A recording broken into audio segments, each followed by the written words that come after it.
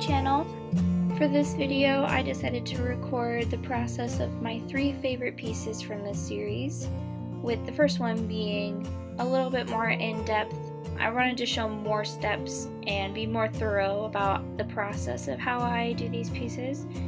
And then the other two and the rest of the video will be a little bit less in-depth and you won't see as many steps for this piece of artwork in particular, there was a lot of spaces for the little white dots on the mushrooms that I really wanted to keep white, and I didn't want to go through the whole hassle of drawing around them and possibly messing it up so I ended up using some masking fluid. That's why it kind of looks weird at first, but you'll see me take it off a little bit later. As far as the process for these pieces go, it's pretty much the same as you've seen in my videos on my channel of the other pieces that I've done. I'll go in and lay down all of my color with Copic markers and then if I feel the need to, I'll go in a little bit with colored pencil just to add a little bit more texture or a little bit more shading in an area that I don't want to be too concentrated. And then I'll go through the inking and then I'll usually add white highlights with a gel pen. This is the process I did for this entire series. If you guys are wondering about any of the supplies I've used in this video, I will always list them in the description box below, so please feel free to check that out if you have any questions about that. While you guys watch the process of this first piece, I want to take the time to talk about this series a little bit and what these mean to me. I really wanted to try and do something for myself. I felt like before these pieces, I was doing a lot of fan art, and despite how much I love that, I really wanted to redirect my focus and create something for me. This series is what I wanted to use to create a starting point for my career with my art as you guys know, I've mentioned this before on my channel, I really, really want this to be something that I do for a living. I really want to live off of my art and create art as my job. This will allow me to spend as much time as possible doing art and it's just it's something I've always really really wanted to do and something I've always been really passionate about. I wanted to take these pieces to the next step. As I am recording this video, I am currently working on building an inventory for an online shop that I really want to launch this summer. I also hope to table at art fairs eventually this summer. Not sure if I'm going to be able to get to that, but that's also a goal of mine. An online shop, and I really want to do some kind of an art fair where I can set up a table and sell merch there and connect with people in person and one on one as opposed to online only. Since I'm trying to build an inventory, I've recently made all of these pieces into stickers, and I plan on making prints of these as well. Creating this series has really sparked inspiration and motivation in me to really work towards this goal, and I've had this goal for several years, so it's very, very exciting for me to work towards this right now.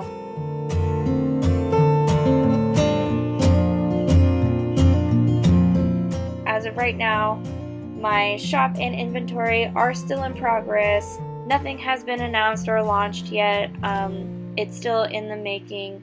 So, if it's something any of you guys are interested in, please feel free to look down in the description below and check out my Instagram. That is where I'm definitely the most active. I post almost everything there that I'm working on, and that is where I will announce anything of this sort first. So if that's really something you guys are interested in, please check it out. I'll leave you guys here to finish watching the rest of the video. I really, really hope you enjoy watching these come to life as much as I did making them.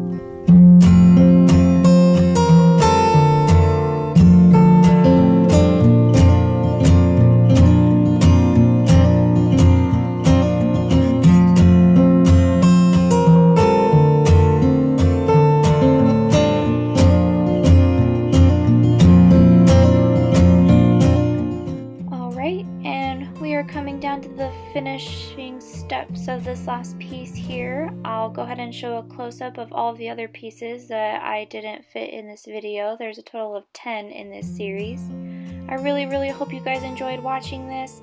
Please feel free to subscribe if you liked this, and you can check out all my social media links in the description below leave a comment if you have any questions for me, and hit that notification bell so you don't miss any future videos. I'll also link the previous video to this, the part one where I do all the sketching at the end of the video and in the description box. Thank you guys so much for watching. I'll see you in my next video.